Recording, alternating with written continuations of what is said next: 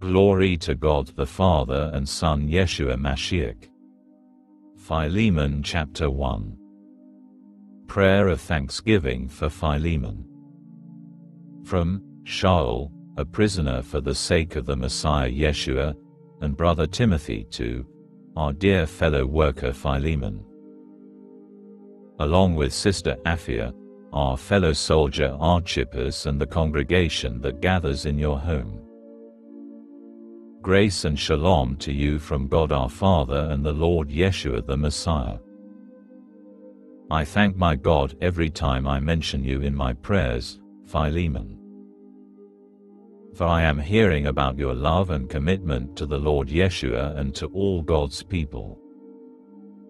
I pray that the fellowship based on your commitment will produce full understanding of every good thing that is ours in union with the Messiah for your love has given me much joy and encouragement. Brother, you have refreshed the hearts of God's people. Paul's petition for Onesimus. Therefore, I would not hesitate, in union with the Messiah, to direct you to do the thing you ought to do. But since I Shaul, am the kind of person I am, an old man and now for the Messiah Yeshua's sake a prisoner besides, I prefer to appeal to you on the basis of love.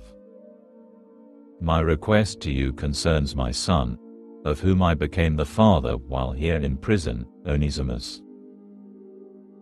His name means useful, and although he was once useless to you, he has now become most useful, not only to you but also to me. So that in returning him to you I am sending a part of my very heart. I would dearly have loved to keep him with me, in order for him to serve me in your place while I am in prison because of the good news. But I didn't want to do anything without your consent, so that the good you do for me may be voluntary and not forced.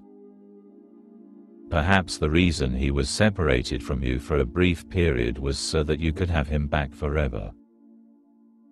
No longer as a slave, but as more than a slave, as a dear brother, and that he is, especially to me. But how much dearer he must be to you, both humanly and in union with the Lord.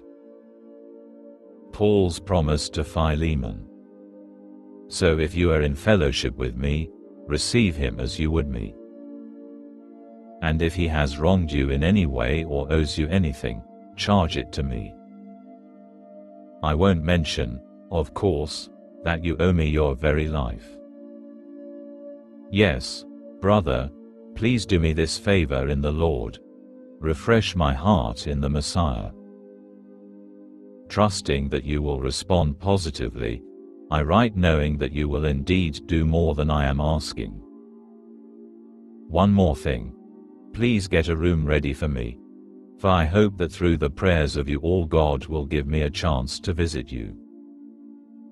Epaphras, my fellow prisoner for the sake of the Messiah Yeshua, sends greetings to you.